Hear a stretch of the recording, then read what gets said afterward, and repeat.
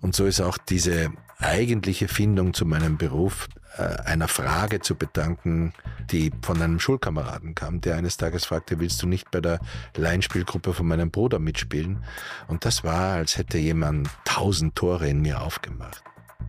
Das ist ja wahrscheinlich gerade in der Sozialdemokratie eines der ältesten Krankheiten, dass man gerne über die Sozialdemokratie schimpft und die größten Kritiker der Sozialdemokratie sind die Sozialdemokraten mhm. selbst. Ich glaube, dass wo immer wir hinschauen, wo diese autoritären Systeme am Walten sind, sehen wir ziemlich eindeutig, dass sie nicht besser sind. Ja.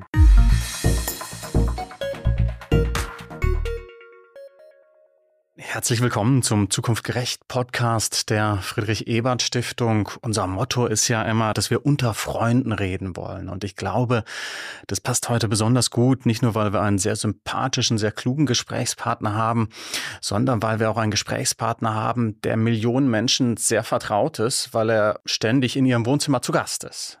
Ähm, manche kennen ihn als Dr. Justus Hallstein, den Bergdoktor, andere erkennen ihn als Moritz Eisner, den Tatortkommissar aus Wien.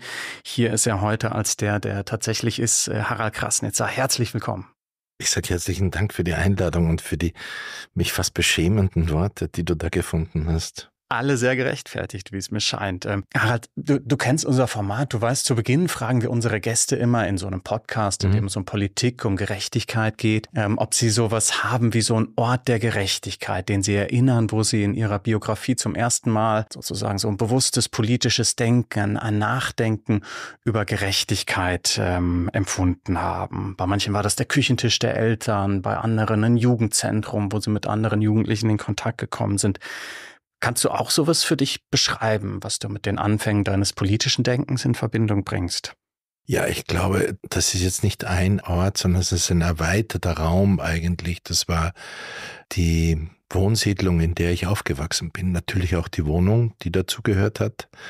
Das war eine Genossenschaftswohnung in Grödig bei Salzburg und die durften wir mit vielen anderen Familien dann neu beziehen und die ist jetzt, glaube ich, erst vor wenigen Tagen äh, wurde die geschliffen, äh, was ein fast wie so ein kleiner Schmerz ist, weil da plötzlich mhm. das weg ist und da wird was Neues hingebaut. Das ist auch schon ein bisschen alt geworden, das alles. Es musste was Neues hin. Aber das war so der Ort, wo die Form der Begegnung die Form des sich Auseinandersetzens mit anderen, die in ähnlichen Situationen waren, also durchaus manchmal, sagen wir mal, ähm, sozial schwierig und manchmal ein bisschen monetär schwierig und äh, äh, Monatsende wurde es dann manchmal knapp und äh, dann gab es die Träume und all das, was uns da sozusagen verbunden hat, das war der Ort, wo all die waren und das war durchaus heterogen gemischt. Äh, das waren Beamte, es waren Arbeiter, es waren äh, alle möglichen äh, Gruppen äh, dort verbunden, was ich schon mal sehr spannend fand. Und das war die Spielwiese, wo man letztendlich das lernt, was Sozialisation ist. Und ich komme aus einem Haushalt, der sozialdemokratisch geprägt war, also auch durchaus von meinem Vater und seiner Position in der Gewerkschaft oder auch seinem Engagement, das er dort gehabt hat, aber auch äh, in der in der Partei und es äh, gab immer wieder Diskussionen. Das mhm. wurde regelmäßig auch äh, bei Wahlveranstaltungen respektive bei den Wahlen im Vorfeld die großen Fernsehdiskussionen, wenn sie sie denn schon gab. Ja. In den 70er Jahren hat das ja dann mhm. begonnen, verfolgt. Für uns Kinder war das noch irgendwie äh, weit weg, aber man hat angefangen äh, zuzuhören. Und Weihnachten war eigentlich immer ein Fest, äh, wo äh, auf eine sehr humorige, aber durchaus manchmal ernstzunehmende Art und Weise sehr widersprüchlich und sehr heftig politisch diskutiert wurde und äh, äh, dann die Großmutter oder auch andere Familienmitglieder einschreiten mussten, so dass es dann doch vielleicht nochmal um das Weihnachtsthema ging, äh, weil das sonst entglitten wäre. Also es war durchaus ein politischer Haushalt. Dass es ein Fest des Friedens bleiben konnte. Dass es ein Fest des Friedens bleiben konnte, genau, ja. Sehr gut. Erzähl uns ein bisschen mehr ähm, über dieses Elternhaus. Deine Mutter hat in der Süßwarenfabrik gearbeitet, mhm. habe ich gelesen. Dein Vater Schlosser. Ähm, wie hat das quasi eure Kindheit geprägt? Ja, zunächst mal dadurch, dass die Mutter immer um 5 Uhr in die Schicht gegangen ist und um 10 Uhr nach Hause gekommen ist, was für uns Kinder bedeutet hat, dass, und da bin ich erst viel später wirklich draufgekommen, dass der wirklich feste Schlaf oder der beruhigende Schlaf dann war, als man dieses Knacken des Schlüssels im Türschloss, der Eingang war sozusagen direkt neben unserem Kinderzimmer. Und mhm. immer wenn man den Schlüssel dann gehört hat, da war dann so etwas wie eine innere Beruhigung. Die Mutter war sozusagen wieder da und dann konnte man einschlafen. Mhm.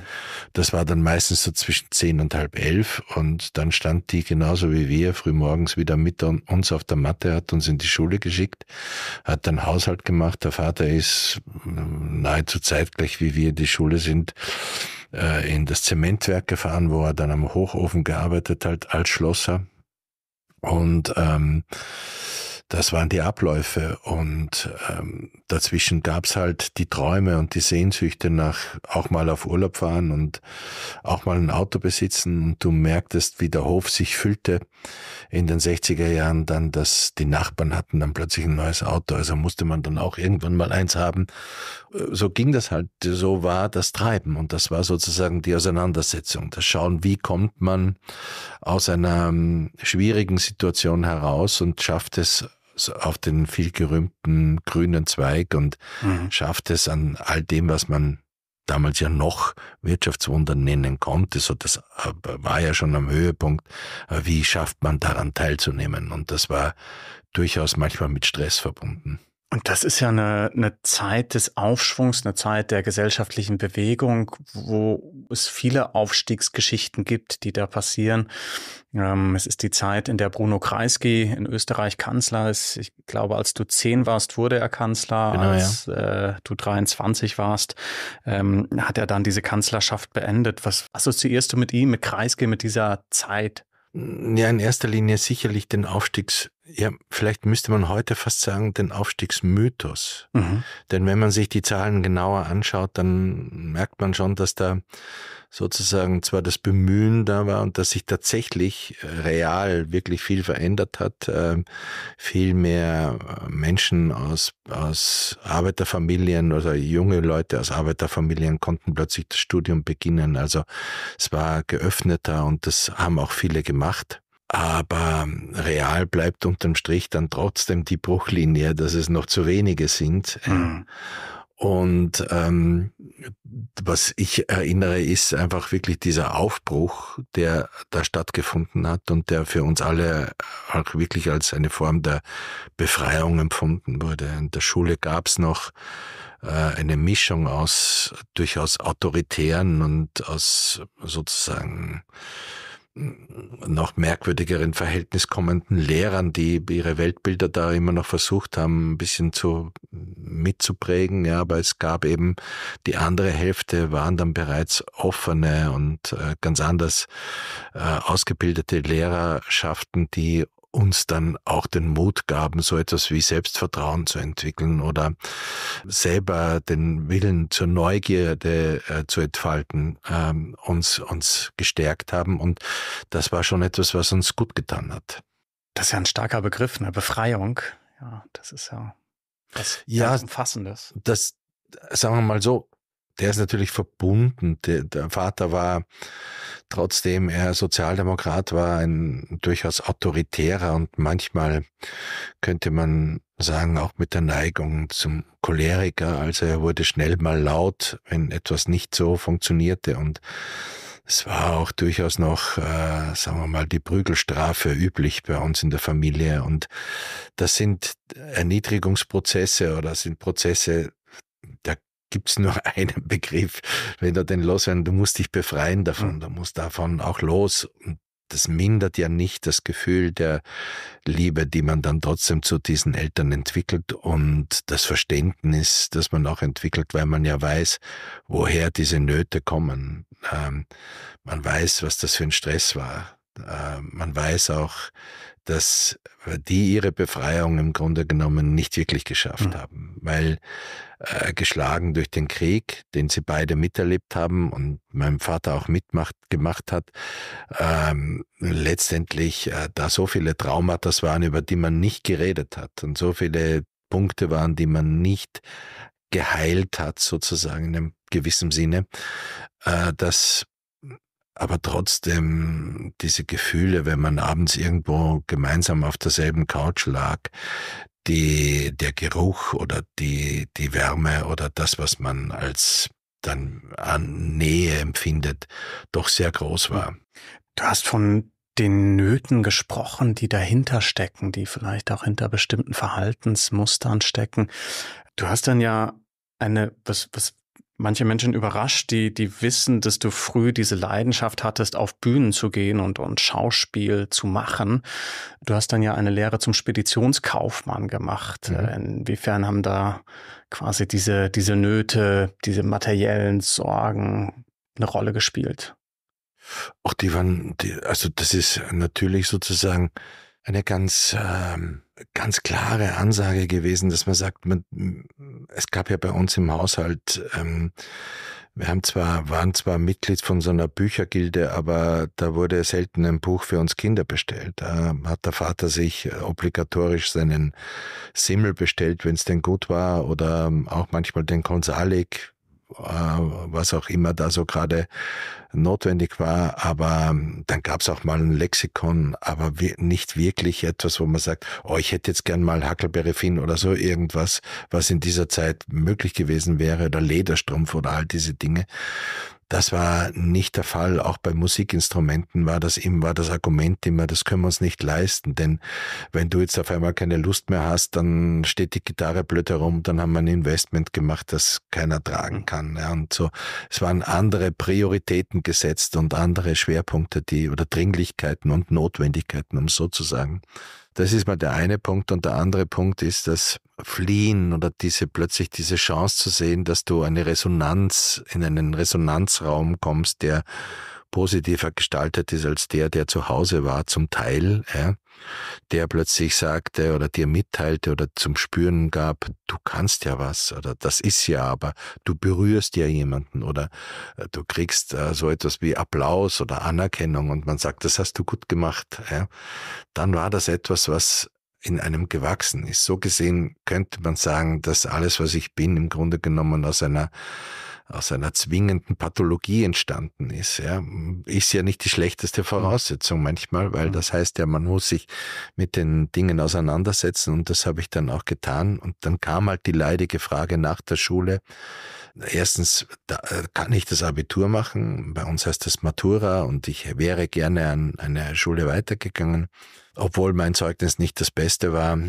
Aber das hätte mich trotzdem interessiert und da war das erste Argument, nein, äh, tu das nicht. Äh, das, äh, erstens gibt sowieso zu viele, die jetzt studieren wollen und eine Lehre ist viel besser und dann verdienst du auch gleich Geld und das war sozusagen das wieder dieser pragmatische Ansatz und überhaupt musst du jetzt mal eine Lehre machen. Ja. Und, und wenn dann aber ein Aber kam, war da ein sehr heftiger Einspruch, dem man sich nicht entgegenstellen hm. traute.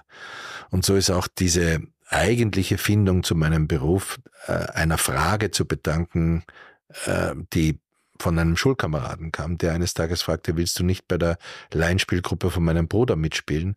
Und das war, als hätte jemand tausend Tore in mir aufgemacht, die ich mir, die ich mich nie getraut hätte zu öffnen. Es hätte jemand äh, meine geheimsten Bücher gelesen und äh, äh, das war wie ein, eine, also das war die eigentliche Befreiung dann und das habe ich dann auch gemacht, habe die Lehre gemacht, war mit Sicherheit einer der schlechtesten Speditionskaufleute Mitteleuropas, aber äh, ich bin dankbar, dass ich es gemacht habe, weil auch das ein Einblick war in eine Welt, die ich sonst nicht gehabt hätte. Und danach habe ich noch den Wehrdienst geleistet, weil auch da war mein Vater vor, weil eigentlich wollte ich Zivildienst machen und er sagte, nein, das kommt nicht gut, man muss das und so. So alles noch so ganz merkwürdige Blickwinkel so dass ich dann das auch durchgezogen und als ich das alles hatte, also Lehrabschlussprüfung, Wehrdienst, dann habe ich gesagt, da hast du deine zwei Scheine. Ich habe das gemacht und jetzt mache ich das, was ich will. Jetzt bin ich offiziell volljährig, also ich bin vor Gesetz mein eigener Herr und du hast mir nichts mehr zu sagen. Und dann war er zunächst mal irritiert, aber erstaunlich und das ist dann auch wieder so ein Zeichen dafür, dass das doch innig war. Es gab keinen Besuch zu Hause oder keine Gelegenheit, wo er nicht irgendwie heimlich dann, so dass es die Mutter nicht gemerkt hat, Geld zugeschoben hat. ähm, so, nimm, brauchst du ja. Und umgekehrt die Mutter das auf ihre Art auch gemacht hat, mhm. auch heimlich. Und so war ich Nutznießer zweier heimlicher Verhältnisse. Also das ist so die, die, die schöne oder die anekdotische Kehrseite solcher Haushalte und wo man sieht, wo das Herz liegt. Diese, ich weiß nicht, Verpflichtung, die Vorgabe, mach erstmal deine Ausbildung. Das hat ja dann auch was mit, ja, mit Ängsten zu tun, mit Unsicherheiten. Es gibt von Bruno Kreisky so ein Zitat, äh, das geht ungefähr so, also wenn es uns als Sozialdemokraten gelingt, den Menschen die Angst zu nehmen, und ich glaube, solche Ängste meinte er, ja, dass man sein Leben sozusagen frei leben kann, wie du es beschrieben hast, ohne dass man Angst haben muss, unten durchzufallen, zu scheitern, dann haben wir viel erreicht. Das ist natürlich aus dem Mund eines bürgerlichen Sozialdemokraten einfach gesagt, weil der ja nie in diesen Verhältnissen war. Mhm. Das war ein aufrechter, wirklich toller Politiker. Aber der kam aus einem aus bürgerlichen Verhältnissen, durchaus mit dem, was er sozusagen in dieser ähm, dem Zerfall der Ersten Republik und auch mit, mit sozusagen den 34er Jahren und dann mit den Nazis gemeinsam im Knast gesessen und dann das Exil in Schweden. Das alles äh, total harte Zeit. Aber äh, es ist was anderes, wenn du den Stallgeruch einer Arbeiterfamilie hast und die Not kennst und weißt, dass du weißt, du kannst am Kalender sehen, was es am, an diesem Tag dann zu essen gibt oder wie dann die Tage aussehen. Du weißt, dass der Urlaub nicht gespickt ist von Eis, wenn das auch bei den anderen da ist, ja, wenn man, wenn man dann in irgendein Bungalowdorf in Italien gefahren ist, wo auch Gleichgesinnte waren, also auch wieder Arbeiter waren, dann konnte man sehen, oh, die kriegen alle ein Eis. Bei uns war die obligatorische im Kühlschrank gelagerte Wassermelone. Mhm. Ja, das war unser Eisersatz. Und eigentlich hätte man gerne Eis gehabt. Aber das war eben dann schon wieder der Luxus. Ja. Wenn du, ähm, ich merke das ja bis zum heutigen Tage, dass es äh, sozusagen immer noch Verunsicherungen gibt, dass da immer noch dieser Reflex ist, äh, dass man immer noch damit kämpft, äh, mit dem, was da an Verunsicherung, Scham, manchmal auch ähm, sozusagen Tollpatschigkeit, ja, dass man so, äh, dass man plötzlich nicht mehr weiß, wie es geht, ja. Das alles muss man sich mühsam erarbeiten und es gelingt einem nie, sich wirklich aus diesem Netzwerk der Demütigung oder auch diesem Netzwerk der Entwürdigung äh, zu befreien. Das ist ein Stempel, den trägst du mit dir. Ja? Du kannst ihn handhaben, du kannst lernen, damit umzugehen, du kannst äh, äh, es so machen, dass es nicht mehr so, wie das vielleicht in der Zeit damals war, dass es pathologisch ist, äh, sondern dass es ein Selbstverständlich. Und mittlerweile trage ich dieses Abzeichen durchaus mit Würde und mit Stolz, weil ich glaube, dass man daraus auch sehr viel lernt. Du lernst auch sozusagen anders auf die Welt zu schauen und anders auf andere Menschen zu schauen. Du kriegst so etwas wie eine, eine sehr große Spielwiese der Ambiguitätstoleranz im Sinne von, ich verstehe, warum du gerade so bist. Und das finde ich einen sehr großen Schatz, eigentlich auch für meinen Beruf.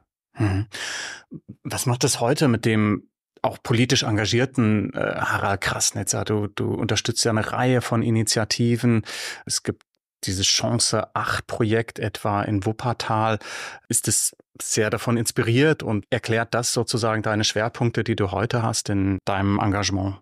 Doch, ja, das, das hat schon viel damit zu tun, weil, weil man, gerade was jetzt zum Beispiel Chance 8 betrifft, dort siehst du einfach, dass das eine Initiative ist, die sich um Junge in einem durchaus man könnte sagen, Kinder in einem Brennpunkt im Wuppertal kümmert.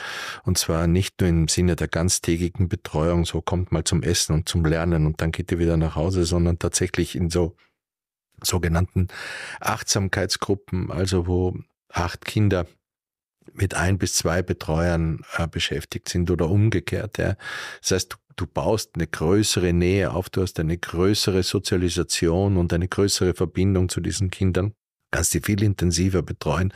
Und eigentlich ist dieses, diese Initiative fast wie ein unglaubliches Start-up-Unternehmen, so empfinde ich es zumindest, dass nämlich all diese Rohdiamanten, die da mit betreut werden, tatsächlich sich voll entfalten können und innerhalb kürzester Zeit zu Entwicklungen kommen, die einem wirklich Freude machen. Und ähm, wenn wir jetzt so über das Engagement reden, muss ich leider einfach auch dazu sagen, dass ich äh, zum einen, Gott sei Dank, immer noch in meinem Beruf tätig bin und zum anderen einfach merke, dass ich dann doch wieder viel zu wenig Zeit habe, um es zu dem Engagement werden zu lassen, was ich eigentlich glaube, dass ich machen müsste. Ja, also auch das steht wieder in diesem klassischen Widerspruch, der äh, natürlich mit mit dem nicht den Dingen nicht gerecht zu werden äh, zu tun hat. Ja. Eine Engagementform, die du ja seit langem äh, mit hoher Kontinuität wählst, ist Mitglied der SPÖ zu sein, mhm. äh, Sozialdemokratischen Partei Österreichs. Du bist mit 18 eingetreten und äh, bis dato noch nicht wieder ausgetreten. Also mhm. eine lange Form der, der Unterstützung auf unterschiedlichen Ebenen oder des Mitwirkens auf unterschiedlichen. Ja, aber auch ein Schmerzkörper, den man mit sich trägt. Ja, was, was macht den Schmerz aus? Den Schmerz macht natürlich immer der, das Ideal in einem selbst und die Widersprüchlichkeit zu Realitäten aus, die in Institutionen vorhanden sind. Jetzt kann man, das ist ja wahrscheinlich gerade in der Sozialdemokratie eines der ältesten Krankheiten, dass man gerne über die Sozialdemokratie schimpft und die größten Kritiker der Sozialdemokratie sind die Sozialdemokraten mhm. selbst und da ist ja nie was gut genug und jeder weiß es besser und ich glaube, es gibt so viel sozialdemokratische Kanzleranwärter respektive Vorsitzendenanwärter, wie es Nationaltrainer gibt. Ja. Ähm, jeder weiß es natürlich besser und jeder kann es natürlich besser und jeder findet den oder das wieder nicht gut. Davon habe ich mich Gott sei Dank in den letzten Jahren etwas gelöst, weil da bin ich auch gnädiger geworden, weil Realpolitik dann doch nochmal was anderes ist mhm. und mit anderen Verhältnissen und anderen äh, sozusagen Koinsistenzen zur Wirklichkeit existieren muss. Also das gehört dann halt einfach zu einem demokratischen Prozess, dass man ausloten muss, wo die Horizontlinien sind. Aber die Schmerzkörperschaft liegt natürlich schon, wenn man jetzt im Speziellen verfolge ich das zum Teil hier und ich verfolge es auch äh, in Österreich noch sehr intensiv, dort wahrscheinlich noch intensiver, weil viel, großer Teil meiner Sozialisation dort mhm. noch ist. Aber festzustellen, wie wir untereinander manchmal umgehen. Das ist hier nicht viel anders, äh, denke ich, zumindest den Erfahrungen nach. Wie wir als Sozialdemokraten untereinander, miteinander umgehen, da können wir nicht erwarten, dass wir manchmal mit den anderen, also mit den gesellschaftlichen Problemen besser umgehen. Ja, und da würde ich mir wünschen, dass sich die verbessert. Ja. Das ist der eigentliche Schmerzkörper. Ja. Ansonsten muss man sagen, gibt's äh, viele Punkte, die man ja durchaus positiv bewerten kann.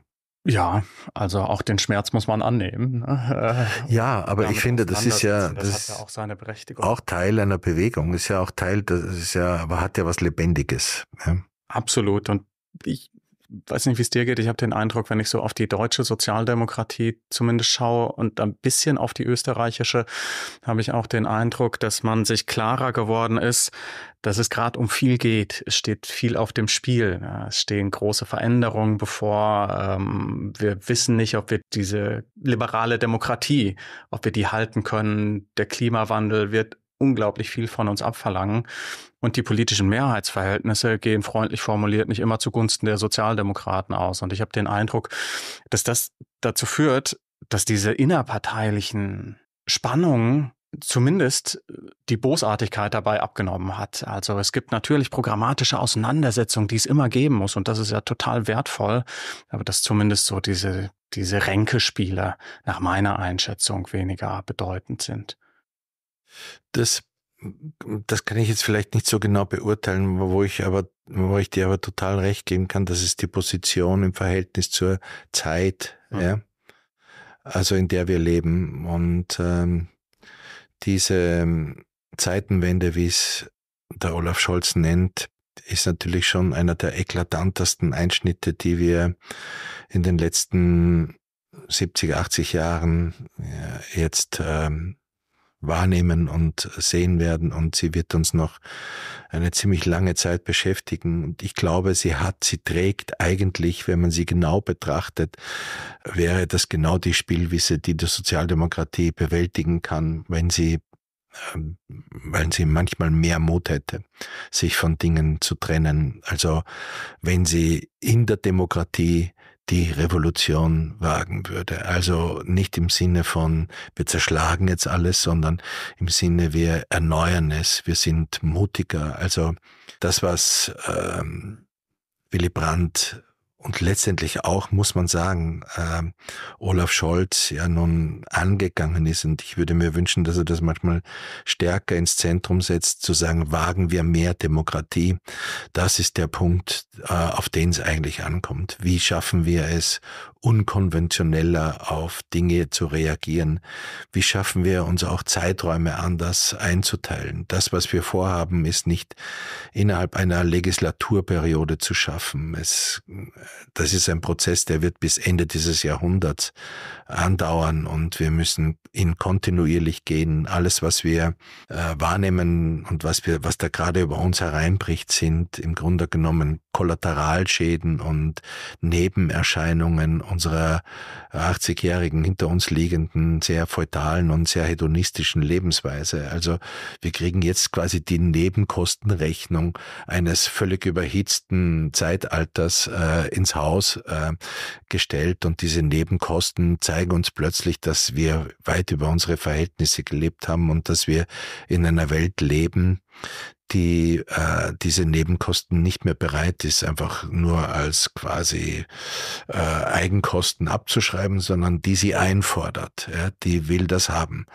Das muss in unser Bewusstsein und äh, dort ist der entscheidende Punkt, wo nehmen wir die Menschen mit. Ja? Und ich glaube, der entscheidende Punkt ist eben, dass wir auch eine, eine Veränderung in unserer politischen Kultur dahingehend haben, dass wir äh, in Österreich haben wir immer gesagt, haben wir immer die Einladung ausgesprochen und ich glaube, das ist hier nicht anders. Gehen Sie ein Stück des Weges mit der Sozialdemokratie. Ich glaube, es wäre interessant, darüber nachzudenken, zu sagen, was wäre denn, wenn die Sozialdemokratie ein Stück des Weges mit den Menschen geht. Das heißt übersetzt nicht, dass wir in einen Pseudopopulismus verfallen, sondern dass wir den Mut, den viele Leute haben, stärker unterstützen und dass es, glaube ich, in, in den Gesellschaften oder in der Gesellschaft an sich, ja, und auch in Europa so viele Initiativen, so viele Bewegungen, so viele neue Aufbruchsstimmungen gibt, so viele mutige Menschen, zu denen wir keine Allianz haben und zu denen wir kein, kein Verhältnis haben. Und eigentlich wäre es spannend, eines zu haben, weil das sind diejenigen, die genau an dieser innovativen Schraube von äh, neuen Ideen und mutig und unkonventionell arbeiten und denen äh, sozusagen die gröbsten Steine der Bürokratie und die gröbsten Steine aller anderen Dinge, die wir auf solchen Wegen finden, aus dem Weg zu räumen, das sehe ich als die zentrale Aufgabe. Das ist ja spannend, weil das ja eigentlich auch ganz gut zumindest zur Geschichte der Sozialdemokratie passt als Bewegung, die ja ganz breit verankert war bei Menschen mit allen möglichen mhm. Initiativen, Konsumgenossenschaften, Bildungsvereine, äh, Radsportvereine, was weiß ich, lauter zivilgesellschaftliche Initiativen würde man heute sagen. Und den, den Staat als Instrument hat sie dann erst viel später in den 1970ern so richtig entdeckt und genutzt für sich. Aber dieses sozusagen, ähm, ja, von unten Moment, das ist ja eigentlich in ihr drin. Total. Es gab, es gibt im Roten Wien gab's ähm Arbeiterliteraturvereine und in den großen Fabriken hingen Dostoevsky äh, und Kant-Zitate. Und man hat sich am Morgen unterhalten, wie weit bist du mit deinem Brüder Karamasow? Und man hat sich darüber ausgetauscht. Alban Berg hat ihn ähm, und, und viele andere der Moderne haben in den Fabrikshallen äh, ihre Werke aufgeführt und die Leute haben zugehört. Äh, es gibt eine ganz lustige Anekdote. Äh, Trotzki war hm. in diesen Jahren des Roten Wiens äh, im Exil und hat im Café Zentral gerne mit den Genossen Schach gespielt. Und in seinen Tagebucheintragungen findet man einen ganz kuriosen Satz, der sagt, er hätte also noch nie so kluge Leute getroffen, die solche tolle Ideen haben und wirklich außergewöhnliche Ansätze. Und er ist total begeistert und er ist fast trunken davon, dass, dass da immer was da für Inputs kommen von den neuen wissenschaftlichsten Erkenntnissen und dass die das sofort umsetzen in reales Leben. Aber was sie nicht sind, sie sind keine Revolutionäre im Sinne des kommunistischen Gedankens. Und damit hatte er natürlich vollkommen recht, denn diese Sozialdemokraten, das waren alles Heiler, es waren überwiegend Ärzte, Menschen, die aus einem praktischen sozusagen ähm, heilenden Beruf kamen. Ja, also Leute, die gesucht haben, wie können wir heilen, wie können wir etwas besser machen. Und das ist so ein Ansatz, den fand ich schon immer sehr spannend, dass dass man das aus dem Blickwinkel heraus betrachtet. Ähm, wie können wir Dinge heilen? Ja. Mhm. Und ähm, das war letztendlich auch immer der Ansatz, der mich am meisten fasziniert hat, muss ich sagen. Und das spricht ja dann auch für eine Revolution, also nicht in dem Sinn eines totalen Umbruchs, sondern Schritt für Schritt gucken, wie kriegen wir die Dinge besser gestaltet, wie können wir vielleicht besser heilen, um den Begriff aufzugreifen. Ja, dazu müsste man aber auch so etwas wie ein Lagebild haben. Mhm. Und ich glaube, dass wir die Lagebilder permanent verwässern. Wir konterkarieren sie mit Erfolgsmeldungen, die nicht mehr stimmen und wir versuchen gleichzeitig aber irgendwie Stimmungen, wir bauen Stimmungsbilder, aber keine realen Lagebilder. Es gibt, glaube ich, nur zwei Institutionen weltweit, die immer exakte Lagebilder haben und, und sie auch sozusagen einzusetzen wissen und auch wissen, wie man sich dazu verhält. Ja, und das sind zum einen Versicherungen und zum anderen ist es das Militär. Und ich fände aber spannend, wenn man als Gesellschaft einen Bezug zur Realität hat und einer Wirklichkeit begegnet und sagt, das ist jetzt unsere Wirklichkeit. Der können wir uns nicht entziehen, die können wir nicht mehr schönreden. Da gibt's die Faktoren, die zählen, ja, und aus dem müssen wir heraus so etwas wie eine Dringlichkeit und eine Notwendigkeit entwickeln. Und das, das ist ein spannender Prozess, finde ich. Was müsste man da sehen aus deiner Sicht, wenn man sagt, wir machen jetzt eine Bestandsaufnahme, eine realistische Karte dieser Welt. Ich finde, dass das Olaf Scholz meiner Meinung nach schon sehr, sehr gut und vielleicht manchmal zu wenig und zu zaghaft artikuliert hat. Er sagt, es gibt neue Verhältnisse in dieser Welt. Also wenn Olaf Scholz zu Lula fährt und Lula sagt, ihr könnt mir mal den Buckel runterrutschen mit eurem europäischen Problem. Zuerst werden mal die Probleme geklärt, die ihr Europäer hier bei uns am Kontinent verursacht habt. Dann ist das eine der neuen Realitäten. Da kannst du nicht mehr aufstampfen und sagen, hör mal zu, wir kommen aus Europa und wir haben mehr Kohle als ihr oder sonst irgendwas, ja, da bist du nicht mehr der Partner, sondern das, was du als erster erfährst, ist, dass China der neue Partner ist. Wenn die Baerbock nach Israel fährt und dort aufstampft, dann ist das nett, aber es hat keine Wirkung mehr, weil er sagt am Ende des Gesprächs, hör zu, äh, nette Idee, weil wir machen so, wie wir wollen. Und dasselbe erfahren wir auch über China und dasselbe erfahren wir im Ukraine-Konflikt und dasselbe erfahren wir letztendlich auch mit unseren stärksten Partnern jetzt äh, voraus, allein schon wieder mit einer Angst, die dort stattfinden kann, äh, mit den Amerikanern. Das heißt, das Entscheidende wird sein, wo beginnen wir hier etwas äh, real zu betrachten, was uns Europäer betrifft.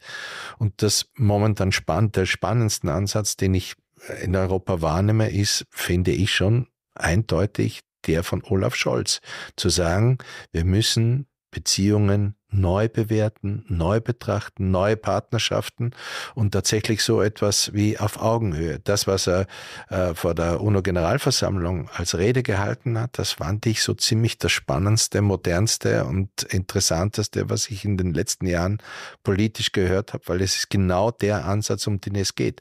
Ich würde mir wünschen, dass er dieses Lagebild vervollständigt und dass wir sagen, wenn wir darüber reden, dann lass uns doch auch mal darüber reden, wie wir, wenn wir das runterbrechen, unser Schulsystem erneuern auf, ein, auf eine Schule des Lebens und nicht auf eine, die sozusagen äh, repetitiv äh, immer wieder was lernt, was wir vielleicht dann nicht mehr brauchen. Lass uns doch unser Gesundheitssystem genau daraufhin untersuchen, wo wir sagen, wir haben etwas, was dem würdig begegnet, den Problemen? Und wie schaffen wir so etwas wie auch wieder eine Eigenverantwortung der Menschen?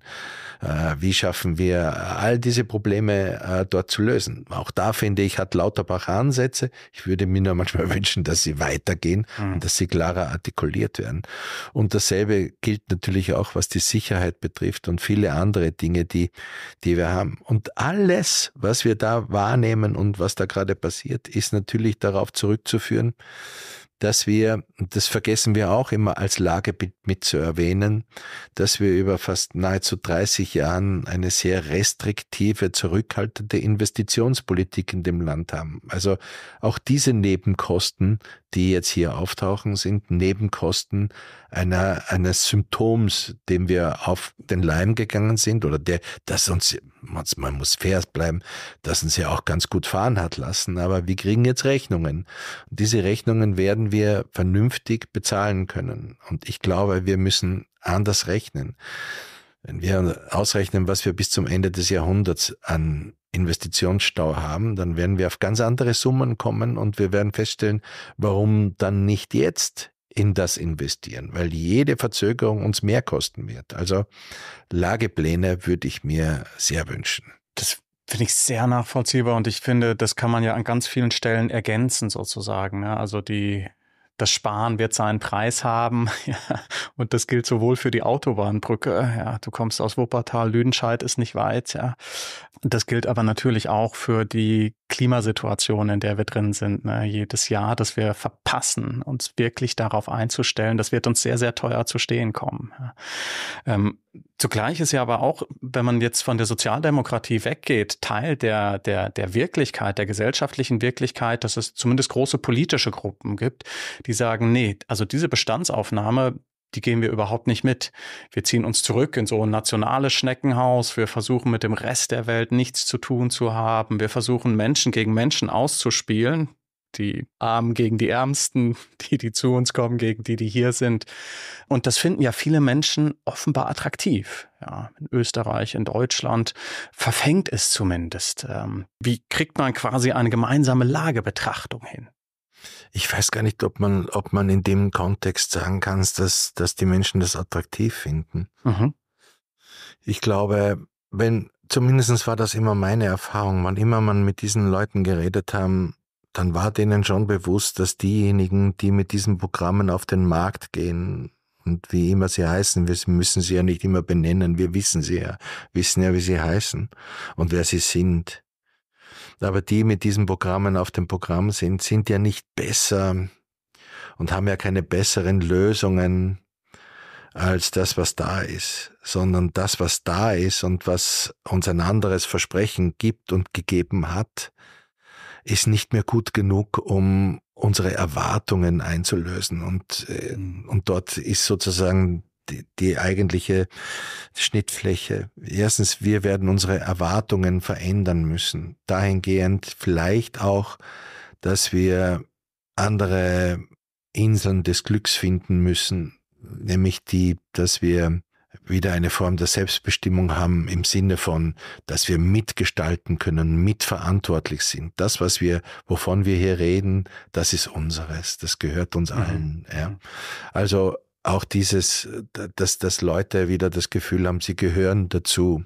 Und ich glaube einfach, dass wir in einem Prozess sind, der so ermüdet ist, so ausgelaugt ist, und wir sehen das fast in jeder Diskussion, wie schnell das zu einem Siedepunkt kommt, ja, der ganz eindeutig darauf hindeutet, dass wir von einem nahezu kollektiven Burnout reden kann. Ja, mhm. auch wenn es auf der anderen Seite so etwas wie so eine Aufbruchstimmung geben müsste. Und genau an dieser Kante stehen wir jetzt. Also die entscheidende Frage ist, wer schafft die Einladung besser auszusprechen und wer schafft den Menschen die Steine aus dem Weg zu räumen. Ähm, ich glaube, dass wo immer wir hinschauen, ähm, wo diese autoritären Systeme am Walten sind, sehen wir ziemlich eindeutig, dass sie nicht besser sind. Ja, und wenn wir in den letzten Tagen so ein bisschen aufgepasst haben, dann gibt es Leute aus China, die bereit sind, 350.000 Euro auf den Tisch zu legen, dass sie in Deutschland leben dürfen. Dann gibt es äh, russische Mitbürger, die über Zypern Millionen zahlen, damit sie einen europäischen Pass haben. Dann gibt es, äh, glaube ich, in Ungarn niemand mehr, der äh, dort halbwegs alle Tassen, also nicht alle Tassen im Schrank, aber der halbwegs aktiv wäre, der dort noch leben will. Außer die, die leben müssen, weil sie nicht wegkommen. Ja? Und dort hast du zerrüttete Verhältnisse in allen Bereichen, ob das in der Medizin, in der Bildung, überall. Einfach schwierig. Ja? Wir sehen, dass diese diese Punkte erotieren. Und ich glaube einfach, dass das wirklich nur eine Frage des Angebots ist und auch eine Frage der Ehrlichkeit und der Offenheit. Wir haben Gott sei Dank jetzt in den letzten Monaten auch erlebt, dass es eine starke Gegenbewegung gibt. Ja? Und ich glaube, dass wir diese politischen Gegner nicht dadurch bezwingen werden, indem wir permanent den Geist des Antifaschismus an die Wand malen und sagen, wir dürfen das nicht zulassen, wir müssen die Demokratie retten. Und ich glaube, dass die Demokratie nur gerettet wird, wenn wir anfangen, demokratisch zu handeln und die Leute zu Prozessen einladen. Und der beginnt bereits in der Kommune.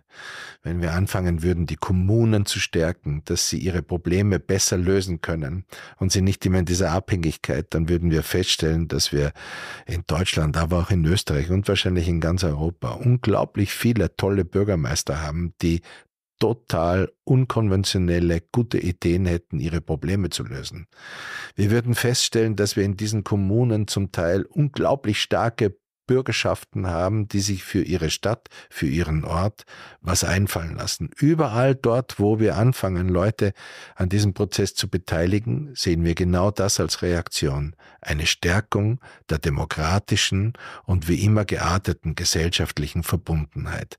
Und das finde ich spannend. Und das ist etwas, was, was wahrscheinlich sozusagen einer der wesentlichen Voraussetzungen ist dafür, dass man den Leuten endlich wieder das Gefühl gibt, sie werden mitgenommen und ähm, das ist eine Reise, die wir alle machen und nicht nur eine gewisse Elite und auch nicht nur eine gewisse Informationselite, die halt dann sagt, hey, das wisst ihr nicht, was ist los mit euch? Ja?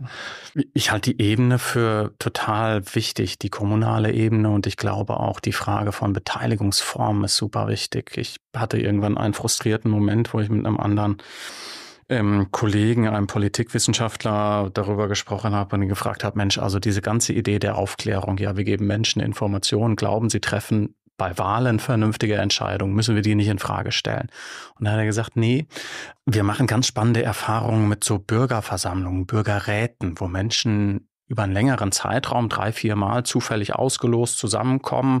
Die kriegen dann ähm, Informationen und, und da kommen ganz häufig, oft auf kommunaler Ebene, sehr, sehr vernünftige Entscheidungen zusammen. Vernünftig in dem Sinne, dass sie unterschiedliche Interessen berücksichtigen und quasi in die Zukunft gucken. Das spricht sehr dafür, dass du recht hast. Es braucht ein Angebot, es braucht ein Format, wo Raum für sowas ist. Erstens das und zweitens, dass wir auch unsere Parlamente, also jetzt nicht nur die im Bund, sondern auch im Land und durchaus in den Gemeinden nicht nur für tradierte politische Karrieregänge öffnen, sondern für alle Formen von Bürgerschaften öffnen. Ja. Dort wird's interessant, weil man ja, auch wenn man jetzt guckt, wer ist denn jetzt in einem Parlament noch vertreten als repräsentativ im Sinne von, das ist jetzt ein Arbeiter oder der vertritt jetzt die Bäckerinnung oder vielleicht auch ein Lehrer oder sonst irgendwas, und dann würden wir feststellen, dass wir überwiegend Rechtsanwälte und äh, sonstige Akademiker drin haben, aber kaum mehr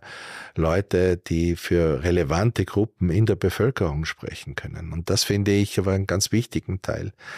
Ich glaube, es ist Schweden, die haben ein ganz lustiges Prinzip auch, dass sie Fraktionen äh, nicht äh, nach Fraktionen uns in die Sitzordnung im Parlament geben, sondern nach Namenslisten. Das heißt, dort ist das Parlament in sich schon mal anders aufgestellt ist, sitzt anders und hat dadurch eine andere Kultur des Miteinanderreden müssens. Ja. Äh, das finde ich schon mal äh, spannend, dass man solche Ansätze beginnt zu überdenken, ob das nicht sozusagen dazu führt, dass unsere Formen der Auseinandersetzung und unsere Formen der Diskussion und des Gesprächs ähm, andere Dimensionen erreicht. Also ich glaube, wir brauchen diese äh, ich glaube, es war Niels Bohr, der das mal so genannt hat, Safe Spaces for Unsafe mhm. Conversations. Und ähm, äh, das haben wir kaum mehr. Und erklärt möglicherweise auch viel Frust an der einen oder anderen Stelle und Enttäuschung.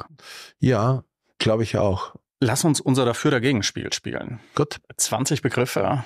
Gut. Die Bitte ist, sag kurz, bist du dafür, bist du dagegen? Und wir fangen an mit der Europäischen Union. Dafür. Demos gegen rechts. Dafür. Eine höhere Erbschaftssteuer. Dafür. Die Vier-Tage-Woche. Mm, in between. Sehr gut. Die Schuldenbremse. Dagegen. Pizza mit Sauce Hollandaise. Absolut dagegen. Absolut dagegen. Ein Sondervermögen für Bildung, 100 Milliarden in die Bildung in Deutschland. Dafür. Verstärkte Maßnahmen gegen Femizide. Dafür. Die Wuppertaler Schwebebahn. Absolut dafür. Die Legalisierung von Cannabis. In between. Der EU-Beitritt der Ukraine. In between. Autofreie Innenstädte. Dafür. Alle Wahlen für Menschen ab 16 freigeben. In Österreich seid ihr uns da voraus. Dafür. Dafür. Ein bedingungsloses Grundeinkommen. In between. Mhm. Linzer Torte. Dafür. Dafür. Interessant. Wir haben mit Natascha Strobel darüber gesprochen, die sagt, nee, also diese ganzen Torten eigentlich nicht. Eine Kollegin aus Wien, aber. Was hat, diesen, warum hat Basi dagegen, gegen die Linse? Sie meint, Kaiserschmarrn ist viel besser. Ach so, okay. Na ja, gut, das ist die Fraktion dann. ja, genau, es scheint Darf Fraktion man durchaus sein. lassen, ja. Urlaub in den Bergen. Absolut dafür. Snowboarden. Auch dafür, aber ich mach's nicht. Okay. Und das Gendern in der Sprache ich bin dafür, aber auch mit einem leichten, äh, also wenn wir beginnen würden, das weniger autoritär zu gestalten, weil ich merke einfach, dass es ein angenehmer Lernprozess ist. Ja, ja. bedingt ist dafür der Wiener Gemeindebau. Absolut dafür. Sehr gut. Und Andi Babler, der aktuelle Vorsitzende der SPÖ. Dafür, aber auch mit vielen Bauchschmerzen. Ja, lass uns noch, wenn du gestellst einen Augenblick über ihn reden. Ja. Ähm, ja. Ich, ich schätze den Andy Babler sehr und, und ich halte ihn auch für den richtigen, im richtigen Augenblick. Also auch mit der in der SPÖ durchaus schon fast gespaltenen Stimmung und der Resignation, die in vielen Bereichen schon zu spüren war und der Orientierungslosigkeit und der Mutlosigkeit und all den Dingen. Und der Andi war jetzt oder ist jetzt der Erste, der seit langer Zeit wieder mal, finde ich, sehr gute Themen ähm, anspricht. Was ich mir wünschen würde, ist, dass er, und das ist sozusagen das, was, was viele von uns mit dem Andi sehr verbindet. Er hat dasselbe, wenn du so willst, Zeichen. Wir erkennen uns. Er mhm. kommt aus, die, aus dem, er kommt aus dieser Gruppe von Menschen. Er weiß, wovon er spricht. Er ist ein Arbeiter. Er ist aus dieser, aus diesem Milieu. Er kennt die Farbe, er kennt den Geruch, er kennt alles davon.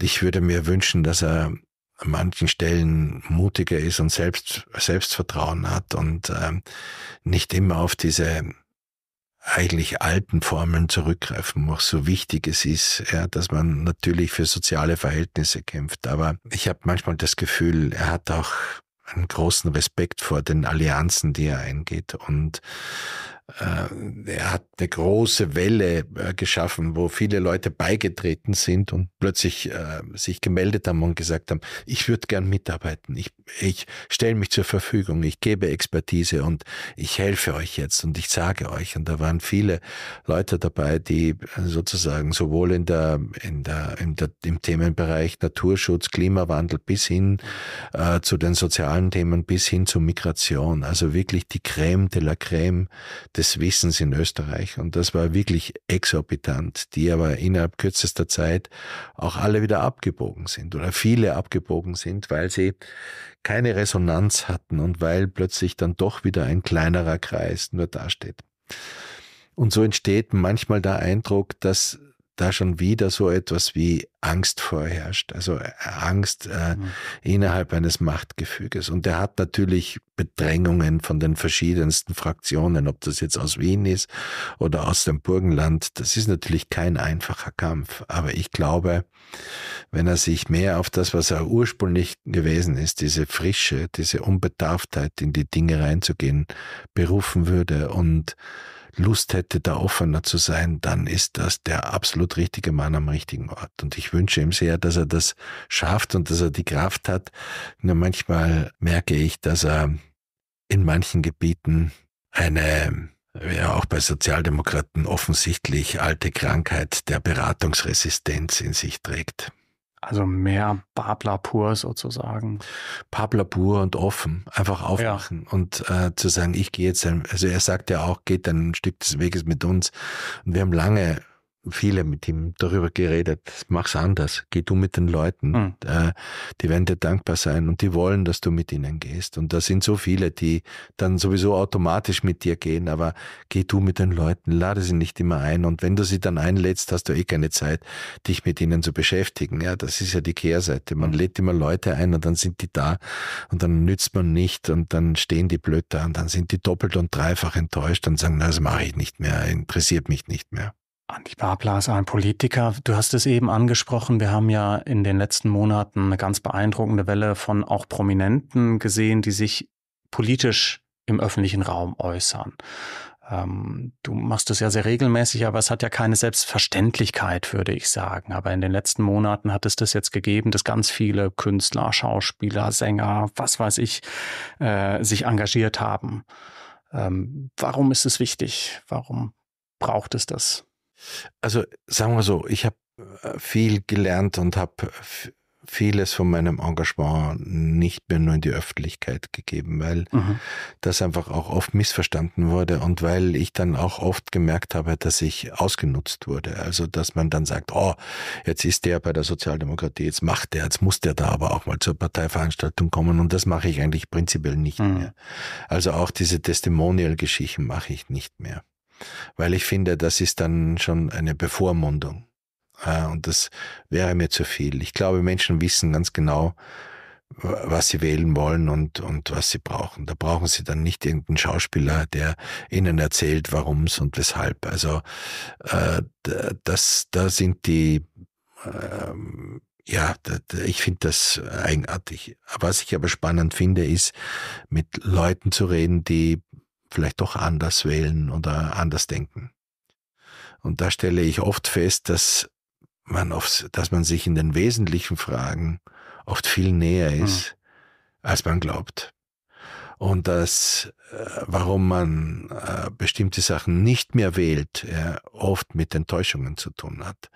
Manchmal auch äh, durchaus mit partikularen Interessen, die dann nicht erfüllt wurden, weil man sagt, ja, und dann habe ich den Antrag nicht bekommen und dann ging das nicht und seitdem ist für mich klar, dass, ja, da kann man ja auch mal drüber reden, aber dann merkst du, dass die Wut loslässt und dass man sagt, das ist jetzt wirklich der Grund, warum und dann kommt ja ohne dies nach einer gewissen Zeit plötzlich der Einsicht oder etwas anderes und dann merkt man, in den wesentlichen Fragen ist man sich einig. Ja.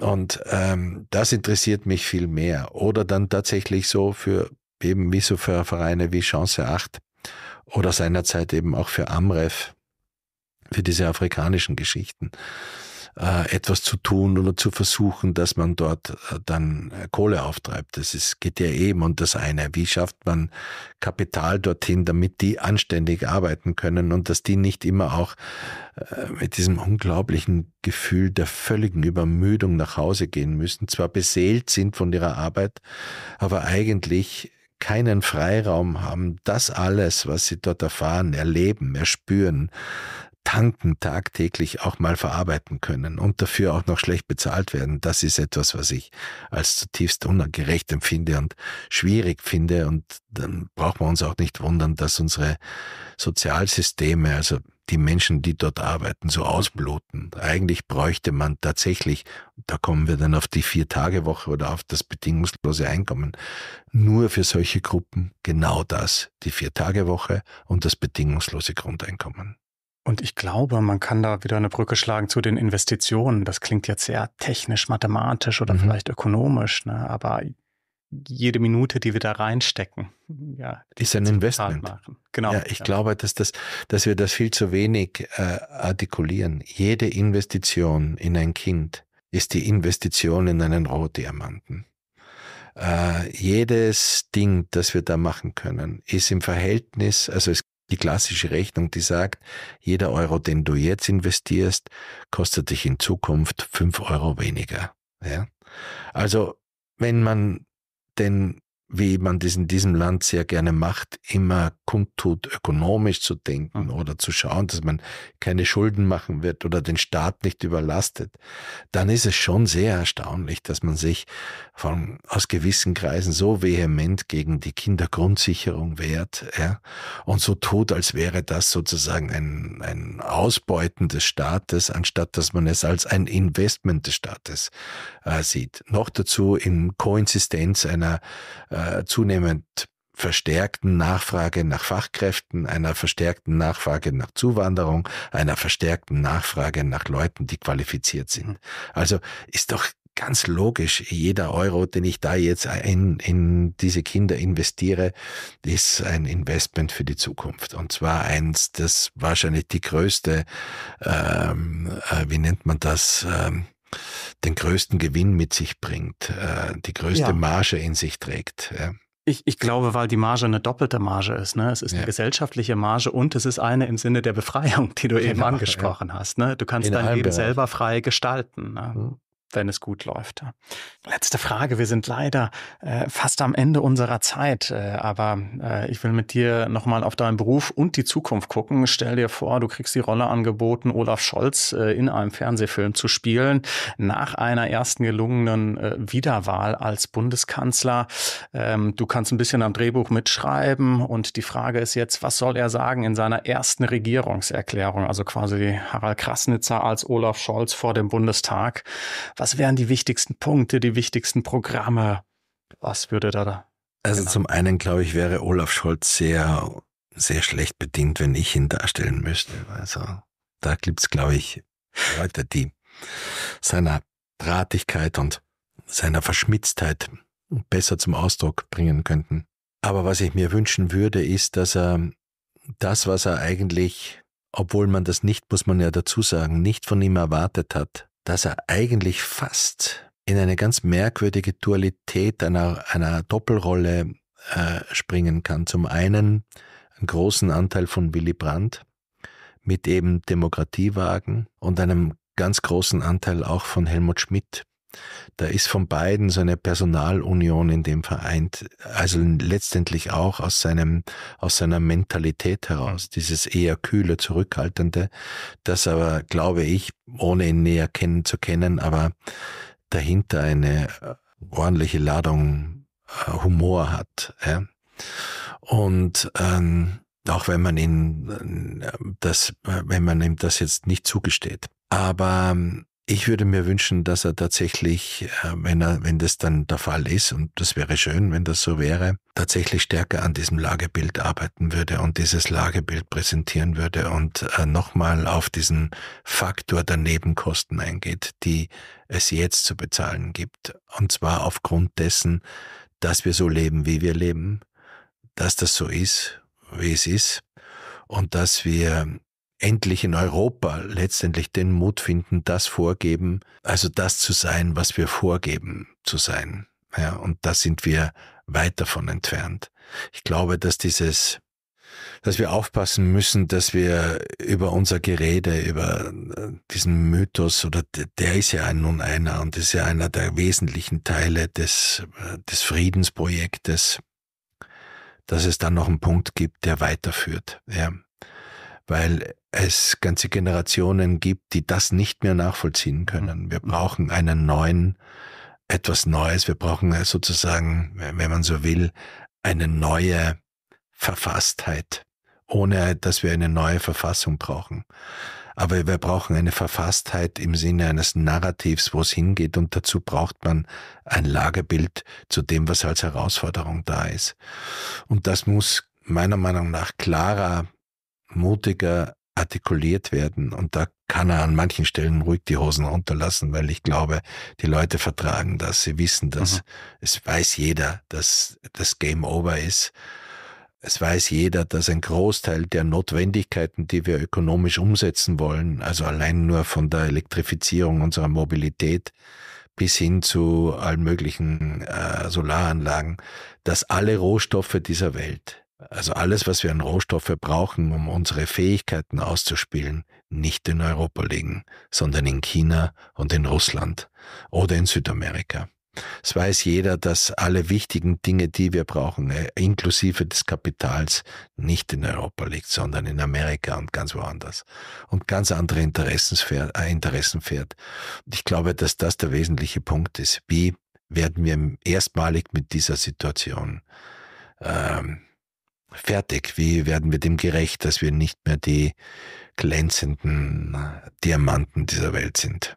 aber mit jeder Menge Rohdiamanten in unserer Gesellschaft. Absolut, ja. Genau. Also ich, ich nehme mit, äh, du bist dir unsicher, ob du der geeignete Olaf Scholz Darsteller bist, aber ja. jede Menge Ideen fürs Ja, in seinem Umfeld Berater, die, sagen wir mal, physiognomisch eher mir nahestehen. Das stimmt, genau. Also herzlichen Dank. Ne? Ich habe viel mitgenommen, ein klares Lagebild, mehr Mut, mehr nach vorne gehen, auch mehr Beteiligung, mehr Offenheit. Ähm, herzlichen Dank für den außerordentlich spannenden Austausch und, und weiter alles Gute natürlich für deine berufliche Zukunft, aber vor allem auch für dein gesellschaftliches Engagement. Ich sage herzlichen Dank für die Einladung und für die Zeit, die ihr mir geschenkt habt.